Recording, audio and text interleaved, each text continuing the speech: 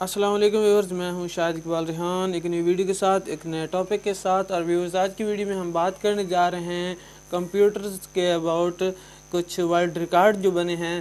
اور ایک ریکارڈ جو پہلا سامنے آ رہا ہے، وہ ہے سب سے مہنگے کمپیوٹر کا کہ جاپانی کمپنی این ای سی کے بنائے ہوئے دنیا کے سب سے مہنگے کمپیوٹر سسٹم ارتھ سیمولیٹر کی تکمیل سن دو ہزار دو میں ہوئی تھی اور قیمت جو ہے وہ حیران کے طور پر سب سے زیادہ یعنی چالیس کروڑ امریکی ڈالر رکھی گئی تھی۔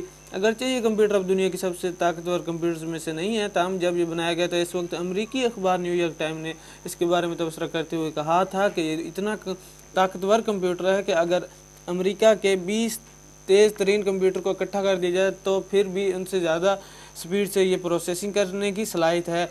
اور اس کے بعد سے یہ اب آ رہا ہے سب سے مہنگے ترین کمپیوٹر کی لسٹ میں۔ اور دوسرے نمبر جو پر جو کمپیوٹر کے متعلق ورلڈ ریکارڈ بنا ہے وہ یہ ہے کہ دنیا کا سب سے مہنگا جو کمپیوٹر ماؤس ہے وہ سوئٹزرلینڈ کی مینوفیکچر کمپنی پیٹسن نے دنیا کا سب سے مہنگا کمپیوٹر ماؤس تیار کیا ہے اور اٹھارہ کے رات وائٹ گولڈ سے بنایا گیا اور اس ماؤس پر ففٹی نائن ڈائمنڈز کا استعمال کیا گیا ہے اور کمپنی نے اس نفیس قیمتی کمپیوٹر ماؤس کی قیمت جو ہے وہ چوبیس ہزار ایک سو اسی ڈالرز مقرر کی ہے۔ تو اس طرح یہ دنیا کا سب سے مہنگا ترین کمپیوٹر ماؤس بھی قرار دیا گیا ہے اور اس کی جو قیمت ہے وہ فائنلی چوبیس ہزار ایک سو اسی ڈالر مقرر کی گئی ہے اور اس کے بعد سے یہ اب جو ورلڈ ریکارڈ لسٹ ہے، اس میں یہ آ گیا ہے۔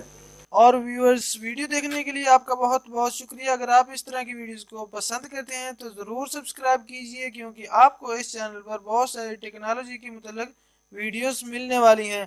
اور اگلی ویڈیوز تک لیے مجھے دیجیے اجازت۔ اللہ حافظ۔